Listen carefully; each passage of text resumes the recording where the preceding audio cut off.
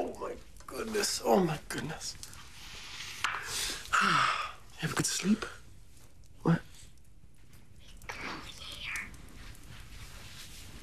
No, sweetie. Daddy Zach isn't isn't coming home today. Because you, you remember, Spike?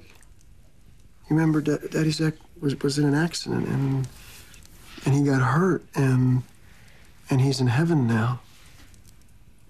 And, and I know I know it's really kind of hard to understand. We're sad about it too. But just know that, that I'm here, okay? And if you ever ever want to talk about any feelings that you're having or, or if you have any more questions about it, you can come to me, okay? They can't come today, Zach. He was such a good daddy, wasn't he? I bet, I bet you Ian's probably really missing him too, huh? You know what might make Ian feel a little better as a visit from his big brother, cheer him up a little bit. What? I think that's a great idea. That's a good idea. Let's go get it, okay? Go get that and get dressed, and then we'll get ready to go.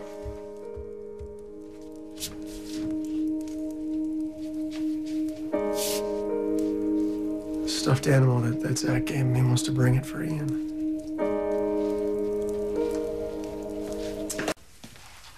What are you doing? I'm just trying to figure out what to say at the service. Ever since Bianca called and asked us to speak, I'm trying to find the right words to sum, sum Zach up, you know? Express what he meant to me. But I can't. You will. How? Service is in less than an hour. When you're standing up there in front of all the people that loved him, you'll know exactly what to say.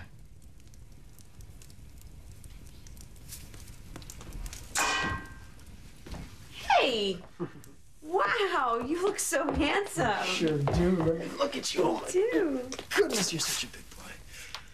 Hey, why didn't you wear that white shirt that I laid out for you? I wanted to wear this for Daddy Zach.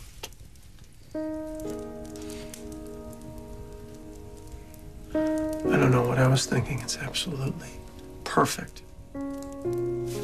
Daddy Zach would be very proud of you, you know that? Me a big hug.